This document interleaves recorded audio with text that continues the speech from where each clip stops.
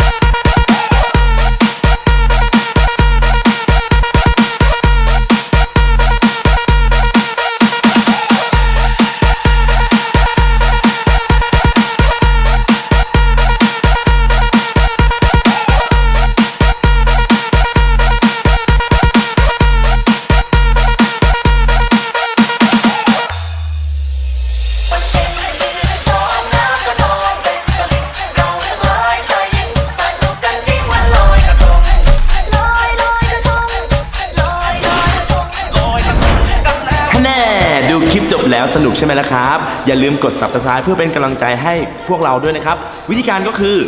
เข้าไปที่ Dinner Studio กด subscribe สีแดง